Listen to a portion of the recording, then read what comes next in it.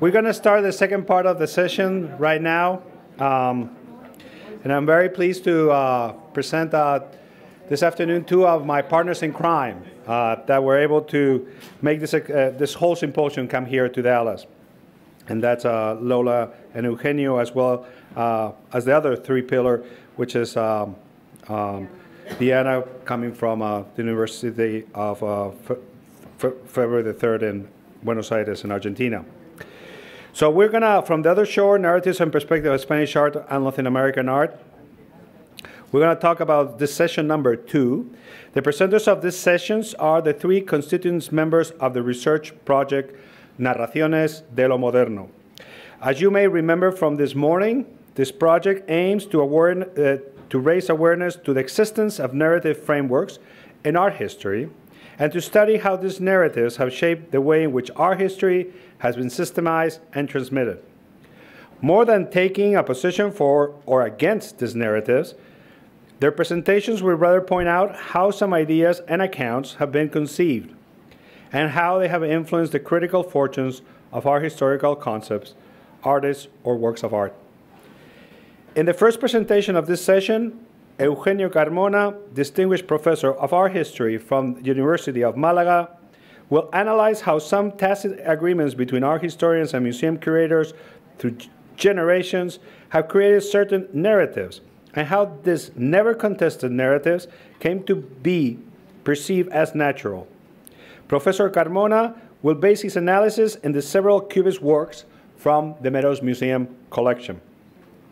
Our second speaker, Professor Diana Wechsler, director of the Institute for Research in Art and Culture at the National University of Tres de Febrero in Buenos Aires, Argentina, will deal with a topic that may sound also familiar to our historians in Spain and the United States, which is dealing with modern art. The supposed delay of the Latin American metro uh, metropolis, an important agenda of modern art.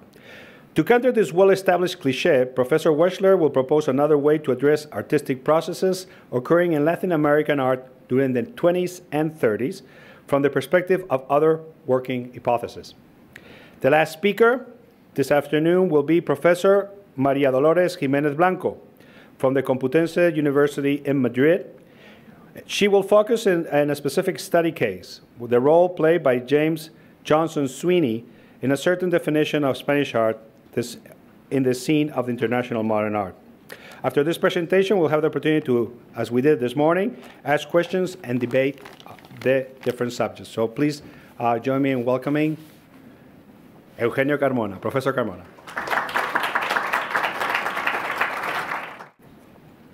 Dear friends and colleagues, it is truly, truly an honor to be present at this symposium. Our research project is a triangle, it's a trinity, two clever women and a man. I don't know why the only man in this project is the director or the head of this project, but perhaps for uh, bureaucratic reasons in Spain, it's uh, like this. But um, I'm the director. They are Lola and Diana, the, the, the exponent of the results of the really the, the brilliant research.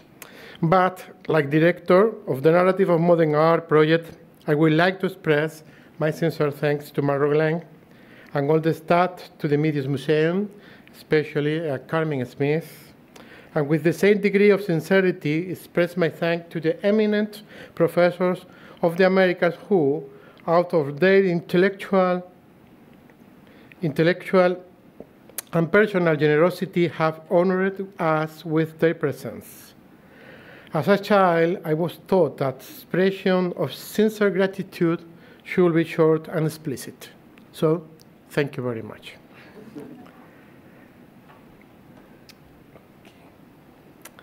The image you have before on your screen is the reproduction of a painting by Maria Blanchard from the Meadows, Meadows Museum collection.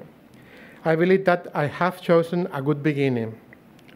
The painting entitled Seated Woman was probably produced by the artist in 1916 or 1917. Maria Blanchard worked on it when she was about 35. At the time, she, she was a creator entering in her matureness, and at that time, she had a contract with the art dealer and gallerist Léonce Rosenberg. Europe was at war. It was the time of the Great War, the First World War. Difficult times. Difficult times for everyone, but especially for artists. The Belle Epoque was vanishing. European and American society will never be the same again. Mentalities were changing. Social struggles will be come to the forefront. Countries will be erased from the maps and new ones drawn. Modernity, after hearing the bombs and experiencing the new weapons of war, began to doubt itself and began to doubt to, about the ideology of technical progress. But in Paris, the art war did not want to stop. In 1914 and 1915, the Cubist environment showed signs of the war impact. Some even considered too that Cubism died at this moment, at this time. But surprisingly, surprisingly, however, we discovered that the advocates of Cubism began to reorganize themselves. Moreover, too, those First World War years saw the arrival in Paris of a new wave of artists, many of whom, poets and painters, were Latin Americans. At all, all events, they are difficult times, and they are especially difficult times for women artists like Maria Blanchard, who were painting Cubism. In ambitious Paris, with all Europe, all Europe at war, who had money to buy a Cubist painting? Under these circumstances, without doubt, Maria Blanchard's choice was a heroic option. But let's return to image. Recently, this painting by Maria Blanchard has been shown in Madrid. The work aroused the interest of both experts and general public alike. The Maria Blanchard retrospective in the Reina Sofia Museum has really been a success. An enthusiastic public wants to reunite with the brave woman painter of painting difficult to understand in difficult times. It is true that after so many years of gender studies, the academic world uh, in this institute has spread and is it is true that after so many years of gender study in the academic world, this institute has spread and the art-loving general public is eager to acknowledge the merit of women artists. But the reunion with Maria Blanchard is not only based on gender question. Significantly, through Maria Blanchard, there has been a return to her Cubist period. However, faced with Maria Blanchard Cubism, several questions or several considerations became evident.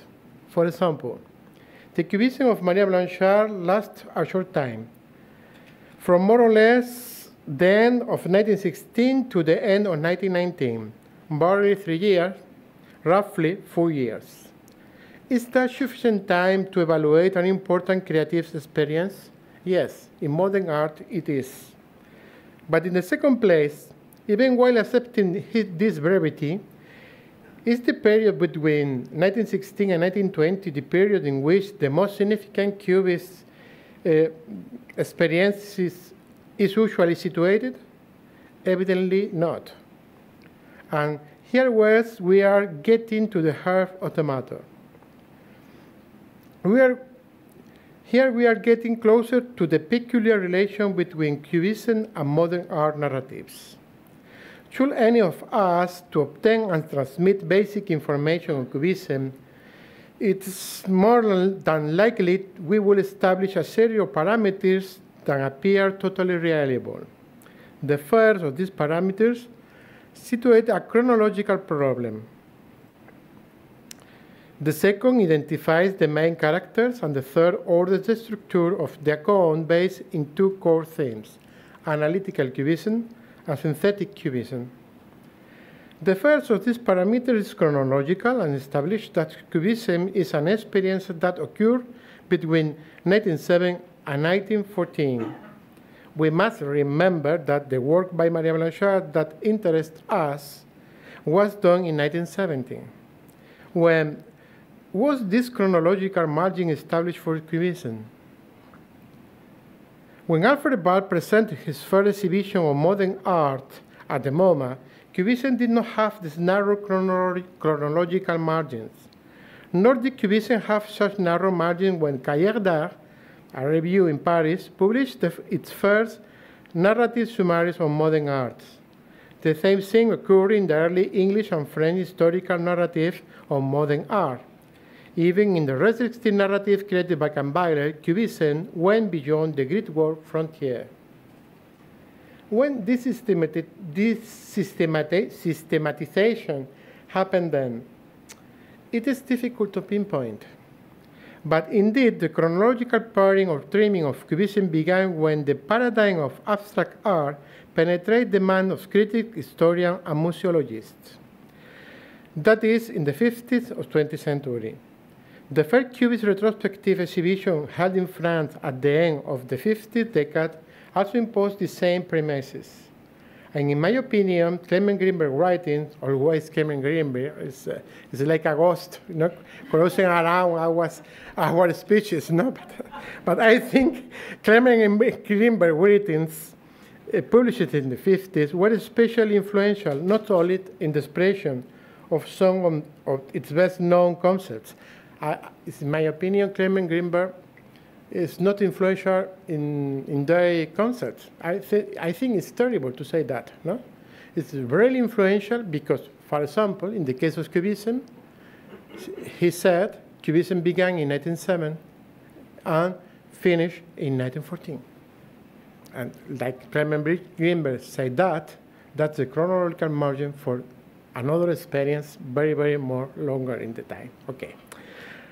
At this moment, in this short chronology, Maria Blanchard's work was excluded from the history of Cubism. It was also the moment of exclusion of a large part of the work of Juan Gris or Jacques Lipchitz, even much of Picasso's works.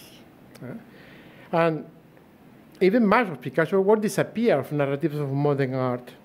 This was the moment of what we shall call second Cubism, and the moment of the third important Latin American presence in the French capital. That for me is important. The second Cubism disappeared, and the most important presence of Latin American artists disappeared too in the main narratives of the modern art. In this moment, only the Dada experience or return to order has been interested for art historian in recent years. The second parameter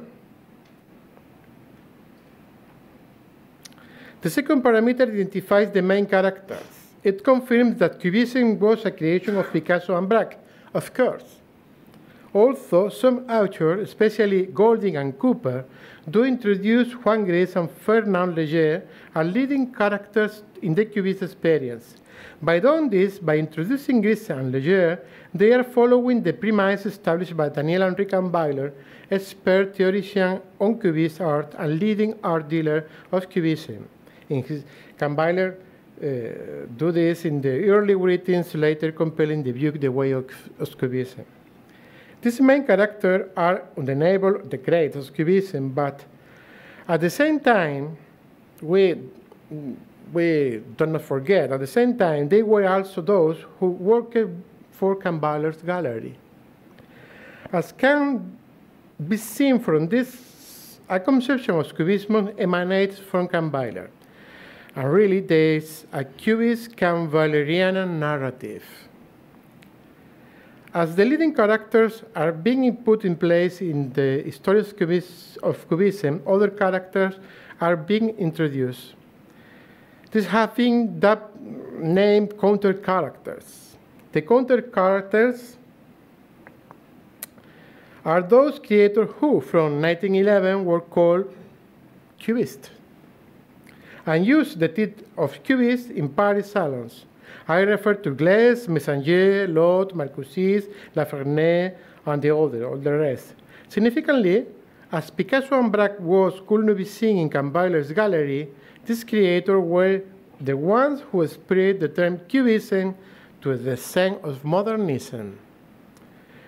This, important, this is important during the first years of Cubist experience, between 1910 and 19, 1914, when Apollinaire, Allard, Olivier Hourcade, and the other critics of Cubism talk of Cubism, they mention these people and consider them be among the leading characters. Later, however, these creators fell into disgrace. They were accused of spurious cubism. They were accused for, of formulating complicated theories, while their painting was only traditional painting with cubisticized forms. In the majority of the accounts about the cubism, these creators are considered bad painters and their cubism considered illegitimate.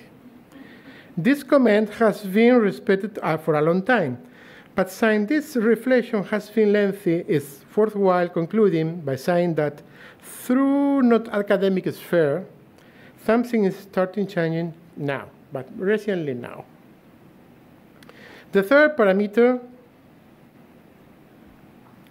the third parameter orders the structure of the account based in two core themes, analytical cubism and synthetic cubism. Of course, the perspective mark, the third parameter, is one of that has conditioned the narrative about the Cubism experience. And it's so because it arranges terms chronological and conceptually, and because at the same time it endorses the Cubist experience with a certain sense of evolution. It should some explain it. If someone of us to explain Cubism, uh, we say to someone who know Cubism, we say, Cubism, see, Cubism history is uh, two, two phases, analytical Cubism, synthetic Cubism. Then, but when expert look for where is this division situated, the expert don't find. What's, what's that? I remember uh, a film of Lars von Trier. Manolo this morning was uh, uh, working about Lars von Trier. The, who is the boss of all things, no? There are a lot of people working in an office, no? They no, don't do uh, anything because the boss don't want. And who is the boss? When uh, they are looking for the boss, the boss don't exist. But this, this story is similar. it's similar, no? We always talk about analytical and synthetical cubism, but when this systematization open, no? When, okay. Around the year 1985, uh, in a brilliant study, Mark Roskill worried about the importance of the term and concept of analytical and synthetic. Christopher Gray before had it also so. Pierre Daix also briefly doubt a possible meaning of analytical synthetical Picasso cubism. Pierre Daix is a, the, the, best biographical Picasso writer. Uh, for, for him, it's very difficult to, to, to, to talk about the Picasso cubism if they are two periods, analytical and synthetical. No? And the dictionary Picasso, Pierre Daix, talk about this, no? about this problem. Okay. Christopher Green also questioned the matter, and in an excellent paper, Lynn Gamwell, an excellent paper of Lynn Gamwell on terminology of art criticism applied to Cubism in the beginning of the 20th century, the terms analytical and synthetic rarely appear. The concepts of analytical and synthetic cubism have never been stable, nor have they been fixed by precise definition so much that the, the chronology of analytical cubism and synthetical cubism varies from one author to another. I would strongly like to emphasize this last point. They are, uh, our historians, they are not according with the chronological margin for analytical cubism and synthetic cubism. Moreover, the concepts of analytical and synthetic cubism are not truly working concepts in the accounts cubism of the summary of reference of the time written by John Golding, Douglas Cooper, or Robert Rosenblum. You know, when I teach at Malaga University on the other side, cubism, and the student asks to me how to study analytical and synthetic cubism, I refer them, look at in the, in the canonical book uh, by John Golding My surprise was when the student returned to me, John Golding, don't, don't speak about analytical and synthetical cubism.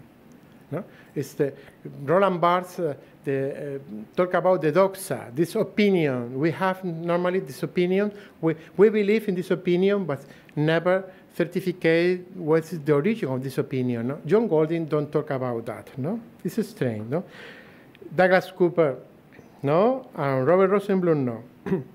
in one of the most widely referenced books in the world of modern art by George Heard Hamilton, published originally by Pelican in 1977, the author merely, merely mentions the fact that some authors divide the cubist experience in analytical and synthetic. He gives scant importance to this, to this possibility while clarifying in our revelational footnote that this division of cubism was proposed by Juan Gris as an internal system to explain on, on this work. The book is in Spanish, I'm sorry, no? Uh, um, uh, it's strange because this book from Pelican is the book um, with the, for Britain student and Spanish and French student in modern art. In this canonical uh, proposal, George Hamilton say, I don't believe in analytical and synthetical cubism. I, I can't explain why. If in the book, it's a Spanish student or student cubism say, I, the author, I don't believe in synthetic and analytical cubism, why we are talking about analytical and synthetic, and synthetic cubism. No, it's strange. It's strange. Okay.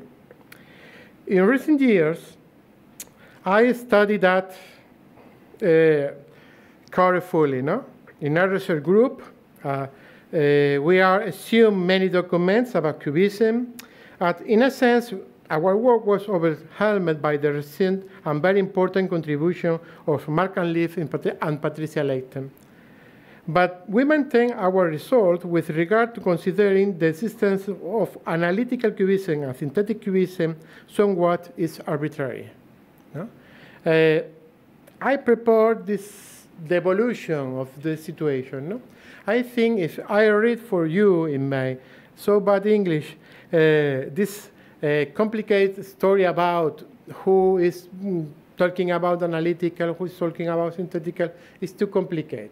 I read the, the, the, the, the little um, story. If, if someone of you want to, to know, no, I, I, I can to, to, to give you my paper, no? But now I think it's better to, to, to because I don't have the, the time, my, my colleagues are uh, later me they press him for my time no? Uh, but you know the, it's the, in the first situation uh, in the art critic talking about analytical cubism and synthetic cubism uh, is the art livre an article of roger, roger allard about Metzinger. And for here analytical and synthetic is not two periods of cubism it's two positions uh, for the cubist painter to analyze, to, to synthesize, no? synthesize, but not in the same time, no? Not, not two periods different, no? After that, it's very complicated situation because Kahnweiler, in a German review, the Weissenblätter, is talking about analytical and synthetical, but Kahnweiler names synthetic, synthetic cubism a group of pieces from Picasso that uh, in, in the next contribution of Kahnweiler to Cubism story uh, moved to, to be analytical Cubism. No? Kahnweiler utilizes the term, but it's changing. In, our, in, in every book, what is analytical is synthetic. Kahnweiler write in, in the in the 1919, Maurice Raynal is talking about analytical and synthetical about Juan Gris. In 1921, Juan Gris eh, start to work, eh, start to, to, to, to say in my work they are two periods, analytical and synthetical. And after that, uh, in returns to consider they are a new cubism in 1923 is the synthetic cubism starting by Juan Gris. No? The, uh, after that, too, the Carl Einstein talk about analytical cubism. is very complicated. And the point of, of, uh, of uh, the point of change of these possibilities is in the catalog of the Alfred Barr MoMA exhibition, Cubism and Abstract Art. Alfred, Mom, Alfred Barr say they are an analytical cubism and a synthetic cubism. But the division of Alfred Barr is not our uh, natural division now, because Alfred Barr considered decollage like analytical cubism. It's, it's difficult, no? but it's uh, like this. In the French reviews, L'Esprit Nouveau and the other things never talk about analytical and synthetic. Never, no? In this situation. Okay. We can talk at length about the through or throughs of cubism, but the question is, the difference between analytical cubism and synthetic cubism may, to us, seem good or bad, right or wrong, useful or confusing, directional or perplexing. We can choose our option, but there can be no doubt that the division between analytical and synthetic cubism is a narrative invention. A narrative proposal that not all cubist experts will necessarily use.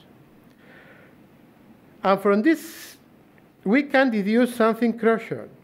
If the analytical synthetic dialectic is a narrative construction, other narrative constructions should, could also exist that articulate or explain the cubist experience and thus, if the analytical synthetic dialectic is a narrative construction, we can propose other welcoming and enriching narratives of narration that foster plurality. New narratives on cubism are emerging, especially from the better knowledge of, about the work of Juan Gris and the other artists. Return to the pictures of Maria Blanchard. This painting is very similar. Allow me to use the expression very similar. It's not a scientific expression, but we are in the France, no? This, this, this painting is very similar to this other painting of Juan Gris, to this other sculpture of Jacques Lipchitz, to this other painting of Diego Rivera, which is painting of André Lhote, Jean Metzinger, Albert Gleizes, Gino Severini, it's very important for me to, to put Gino Severini in this sequence, and Emilio Pettoruti. It's, it's for me two very, very important to, to put here Emilio Pettoruti, Emilio Pettoruti, and Rafael Barradas. Because I'm concluding now and I finish, if this period of art history disappear, this painter disappeared too. I, we have three Latin American painters, Diego Rivera, Emilio Pettoruti, and Rafael Barradas. This is my case, no? This, but I can continue. Okay. What I do want with this, I want to say that Cubism did have a new lease of life, that Cubism had history within its history. And I also want to say if second Cubism, Cubism has not been identified before because the narratives and paradigms devised around the cubist experience have prevented it. And I also want to say the narrative of modern art must be revised not for the pleasure of eliminating position already established, but for the need to widen fields and presences that will return into what once rich and complex its own richness and complexity is I'm Spanish, and for me it's very important. Juan Gris, I would like to recognize the place of Gris in this history. If I am Argentinian, and for me it's very important for my culture, it's very important Emilio Pettoruti, I would like to be recognized the importance of Emilio Pettoruti or Rafael Barradas. That's the problem, not other. I don't, uh, I, doesn't matter to be a provincial teacher uh, needing modifying the structure of modern art for to be um, recognized or to be original. No, it's or, this theme is this matter is with the is in relationship with the other question. Okay. I will extremely complicate here to draw up the details of this second cubism. To speak at length of this narrative will take too long, but it's worthily to make some general notes. It all began around 1916. Okay, I forgot to, uh, it's Angel Zárraga, but Angel Zárraga perhaps is long of this possibility, but I like very much Angel Zárraga, the Mexican painter, no? is in this group too. Okay. It began around 1916, and it is important to point out that before the second cubism started, a number of the artists mentioned made use of decollage. Therefore, the new cubist painting, they are well engaged in the can, or can be called post-collage cubist painting. That is important. This group of painting now the collage. The group of painting now how the collage transformed the sense of artisticity and the definition of art. But they renounce of this possibility and they want to create a post-collage painting. That's the, the, the, key for me of this operation. And after that, I believe in the, that the high point, the acme of the second cubism was in forming a new conception of the idea of pure painting. Apollinaire expressed this idea in his book, Les Peintres Cubistes. However, since Apollinaire's stance was not considered influential in the theory of Cubism, perhaps it has not been taken into sufficient consideration. The new Cubist painting demands that the work should be evaluated from the, its plastic resources, but without relinquishing a last encounter with unrecognizable figurative element that acted as a sign. The cubist pure painting is not therefore abstract painting. It is the degree zero of encounter between the purely plastic and the figurative. This is what Picasso attained in the summer of 1910 in Cadaqués. Sorry, it's here. In Cadaqués. It was attending works on Braque and Gris and Leger, Metzinger, even Delaunay, no? in a first moment. Now, after the collage experience in in its second life, the concept of pure painting was redefined. Once again, we find a delicate and extreme balance between the allusion to the figurative and the abstract understanding of the work. But now, in the best work, the surface of the picture wants be completely flat. It wants to be a construction of shapes, not a rhythmic vibration of brush stroke on the canvas. The first Cubist pure, pure painting was aesthetically linked to the music. The second Cubist pure painting was linked to architecture. There is also connection with the objective and with a free and orthodox way un of understanding the geometry. Juan Gris understood this well and expressed it in his writings. Now, in the second Cubist pure painting, color and shape are united. The shape color unity is created. The shapes are not facets of the object as they were in the first cubism. Now they are abstract plastic units working in the painting to culminate in a something figuratively, figurat, figuratively recognizable. The inclination or insertion of plane in the shape color unity gave a sensation of space. But now the sensation of space was not linking to a desire to represent the atmosphere as in the first cubism. Now there was a desire to represent space and volume. It was, of course, difficult to create three-dimensional volume with, flat planes. Column construct helped to create this sensation. Sometimes, by using these formulas, the creators of the second cubism tended towards abstraction, and these paintings were difficult to the public to understand. It was very, it's for the, I think in, for the public, it was in this time um, more easy understand a pure abstraction, completely abstraction, or figuratively. But a picture representing something but mm, reclaimed to be evaluated like a pure painting is a difficult situation for the public in the First World War, no? in, in these circumstances. Okay. We, we have in these circumstances the, the, the work of Juan Gris, really the, the leader of this possibility. Pettoruti, Severini, Blanchard, Lipchitz, Metzinger, Metzinger in a, in a kind of position and another one. But other times, the promoters of the second cubism play with optical illusion. In this proposal, an abstract construction of shades without reference suggesting a spatial or perspectivic sensation is assembled on the canvas. The object of reference were normally a table, but it could be also the floor of the room, vegetation in a garden, or an open air space. Metzinger was especially skillful in this type of compositions. Let us look at a specific construct between two works of the period. We will look at two landscapes, unusual subject in the Cubist experience. In a landscape dated in 19, in 1915, uh, uh, now in the Meadows Museum, Picasso basically used the language resources we have described. But Picasso resolves the painting with a scenographical solution, and the elements used are extremely varied.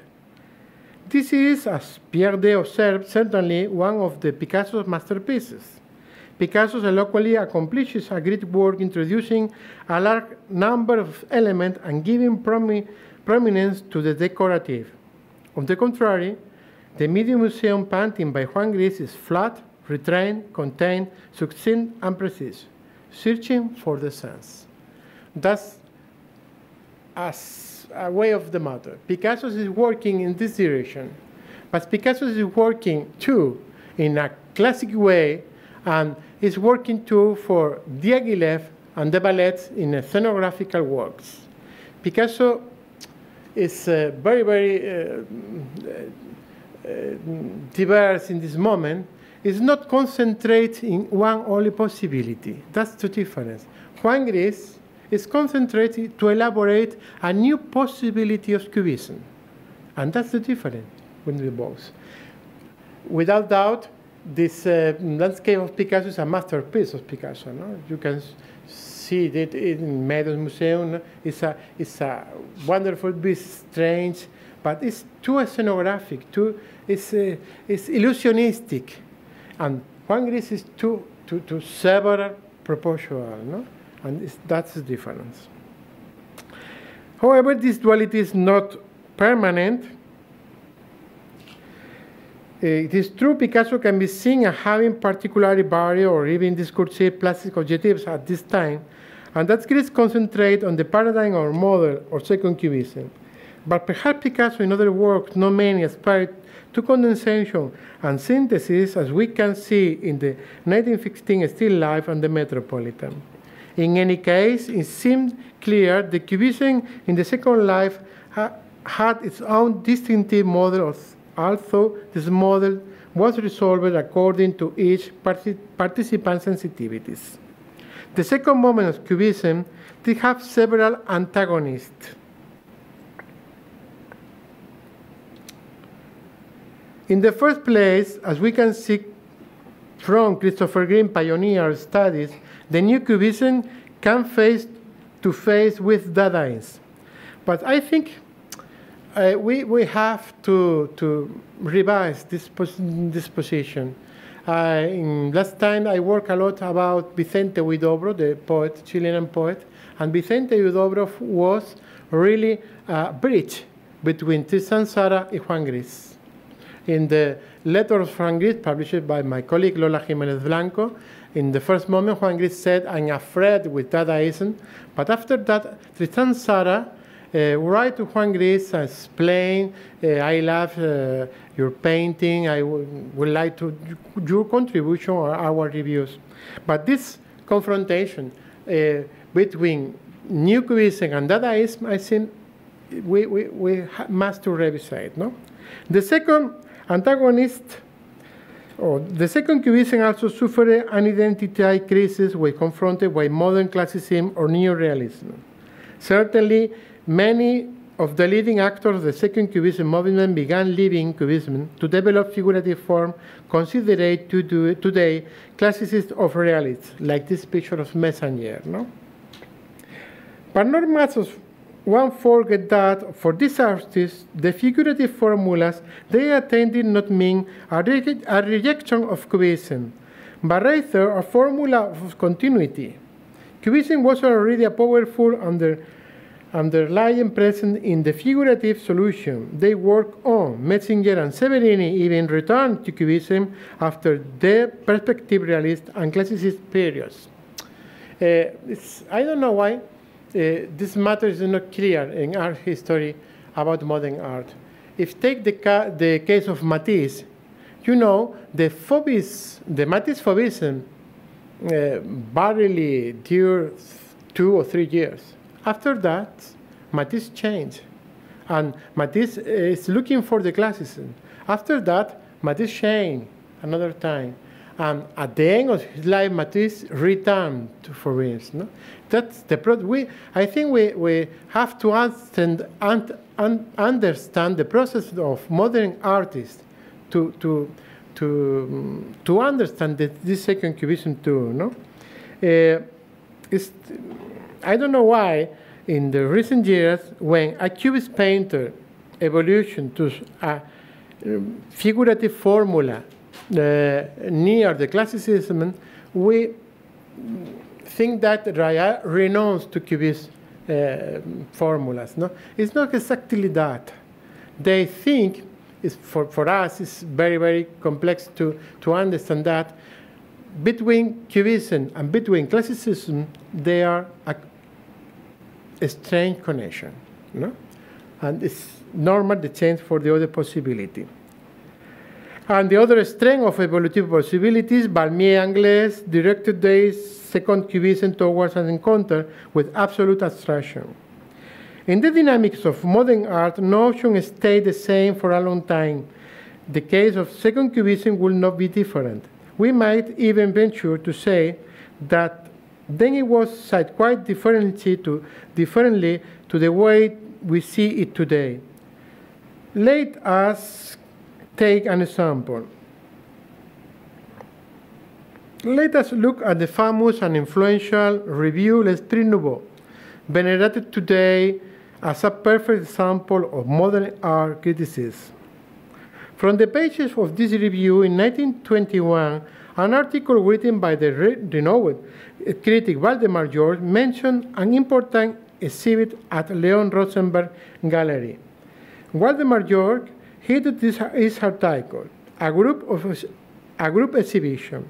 In the text, he explained the fundamental characteristics of what here today we have called second cubism or second life of cubism. The critic stated that this cubism had enabled the emergence of other possibilities that would have been incomprehensible without cubism itself.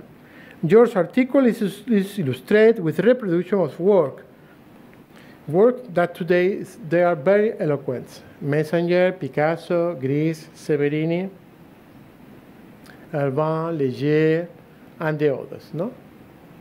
Mondrian too.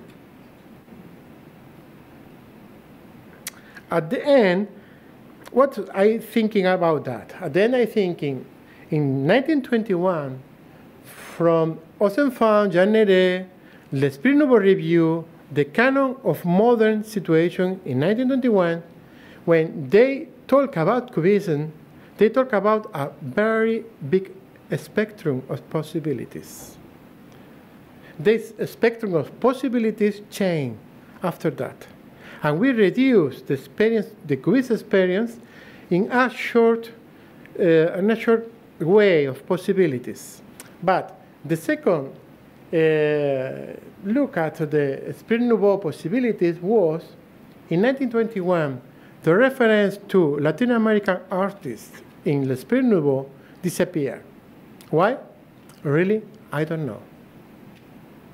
Perhaps they disappeared from Europe and return to, to, to, um, to Americas. I, I don't know why. No?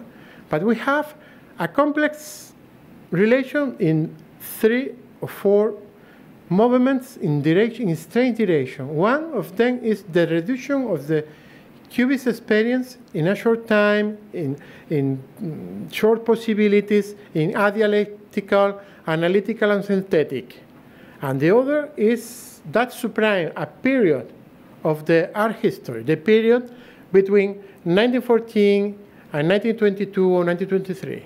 Only Dadaism and return to earth exist. And the second movement to change the narratives is if you look at uh, the reviews of this time, Nord-Sud, SIC, and the others, Latin American artists are present in, the, in these reviews.